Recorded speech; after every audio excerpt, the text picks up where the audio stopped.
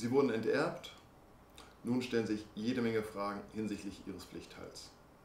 Diese Fragen werde ich Ihnen in diesem Video Schritt für Schritt erklären und Ihnen zeigen, wie Sie durch dieses Verfahren in Ruhe durchkommen und damit abschließen können.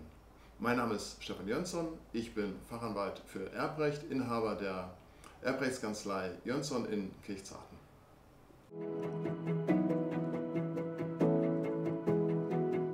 Sie sind eine Tochter, ein Sohn, ein Ehegatte der verstorbenen Person.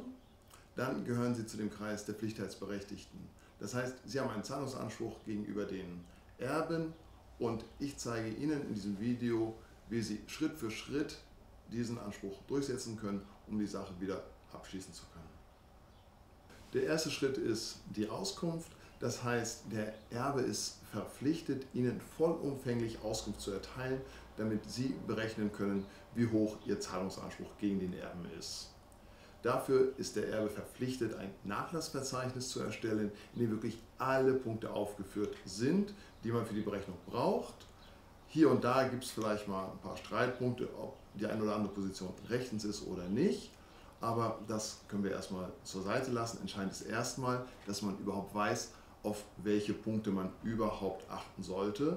Es geht nicht nur darum, wie viel Geld war auf dem Konto, wie viel war das Haus wert, wie wird das Haus bewertet, sondern natürlich auch, welche früheren Zahlungen hat der Erlasser möglicherweise vorgenommen, die heute auch noch zu berücksichtigen sind.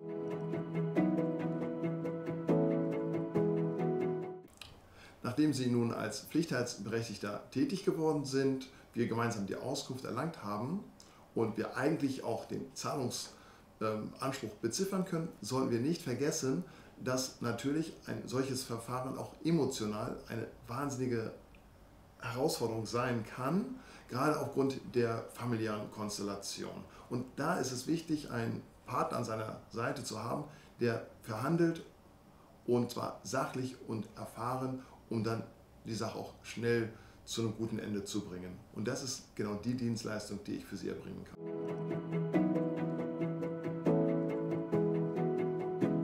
Zusammenfassend lässt sich sagen, dass es beim Pflichtheitsverfahren um die Auskunft geht. Damit Sie diese vollumfänglich erhalten, müssen Sie natürlich wissen, welche Aspekte zu berücksichtigen sind.